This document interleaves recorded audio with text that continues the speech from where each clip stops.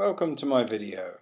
So I get to France and I start uh, having to cut everything quite quickly.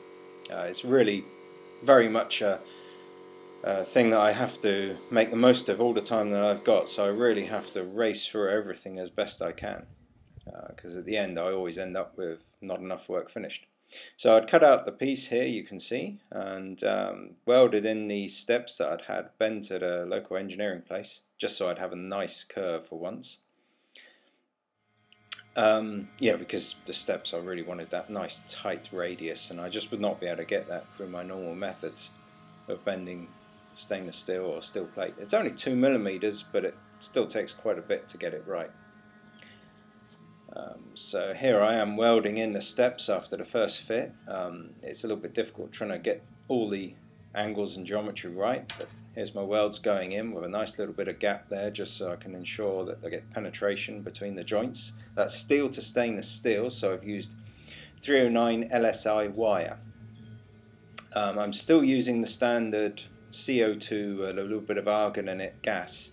Technically you should go for a, an argon gas um, with stainless just to uh, ensure you don't get blackening of the weld. But on a single pass weld like I do, it seems to work fine. I mean, stainless on that I welded 20 years ago and yeah, it's nice and shiny. There's no rust on it or anything like that, other than what you get on 304.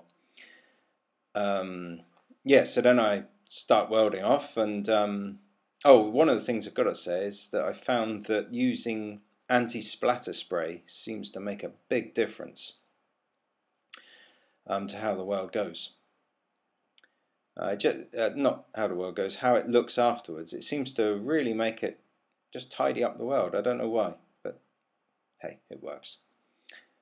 Uh, it always looks like Benny Hill when I run one of these videos like this. Uh, but um, yeah, here I am grinding around trying to prepare the the plate, uh, one of the small quarter plates I was going to put in.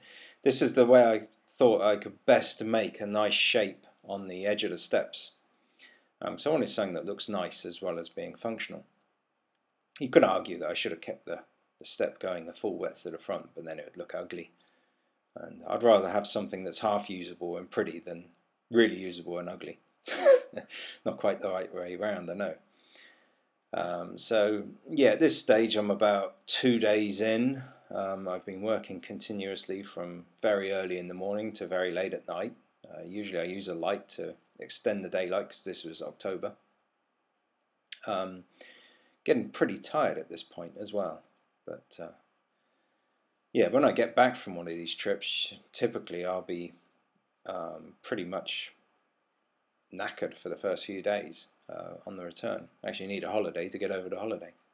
What I'm doing here is I'm fitting a nice Vetus stainless steel port light.